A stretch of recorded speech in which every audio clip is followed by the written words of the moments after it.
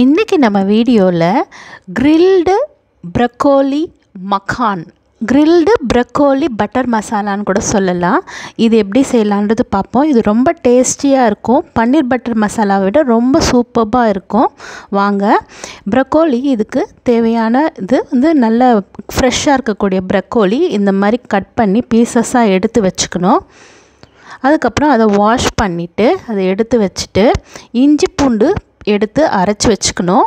இந்த மாதிரி நம்ம தேவையானது இந்த மசாலாலாம் எடுத்து வச்சுருக்கேன்.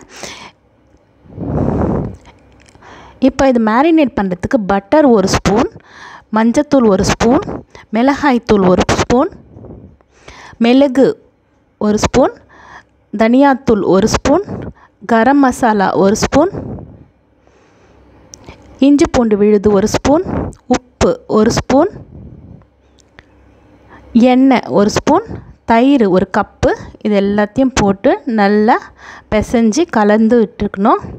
இதுக்கப்புறம் நம்ம கட் பண்ணி பீசஸாக வச்சுருக்கிற இந்த ப்ரக்கோலியை இதில் போட்டு நல்லா ஊற வச்சு மேரினேட் பண்ணிடணும்.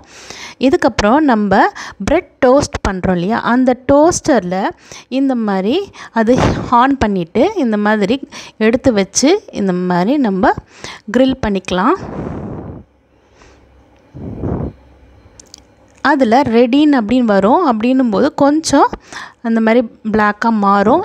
இது ஃபஸ்ட்டு டைம் உடனே வந்துடாது. இருந்தாலும் ரெண்டு மூணு முறை வச்சு நம்ம எடுக்கும்போது இதெல்லாம் வரும். அப்படி இல்லைன்னும் போது இந்த மாதிரி அடுப்புலையே இந்த மாதிரி ஒரு ஒரு பீசஸாக மேரினேட் பண்ணதை இந்த மாதிரி எடுத்து நம்ம அப்பளம் பொரிப்போம் இல்லையா? அதில் வச்சு இந்த மாதிரி பண்ணி எடுத்துக்கலாம். அப்படியும் இல்லைன்னா நம்ம ஓட்டத்தட்டு வச்சுருப்போம் இல்லையா? வடைலாம் எடுக்கிறதுக்கு. அதுலேயும் கூட போட்டு இந்த மாதிரி நம்ம க்ரில் பண்ணி வச்சுக்கலாம்.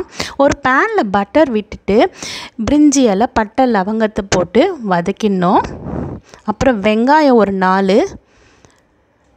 கட் பண்ணது இஞ்சி பூண்டு பேஸ்ட்டு தக்காளி ஒரு அஞ்சு. சின்னது.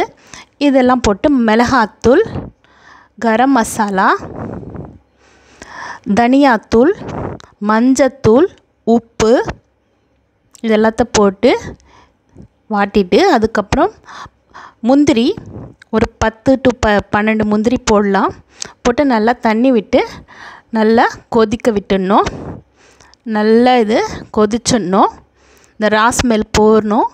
நல்லா கொதிச்சதுக்கப்புறம் எடுத்து ஆற விட்டு இந்த மாதிரி மிக்சியில் அரைச்சி நல்லா ஃபைன் பேஸ்ட்டாக பண்ணிக்கணும்.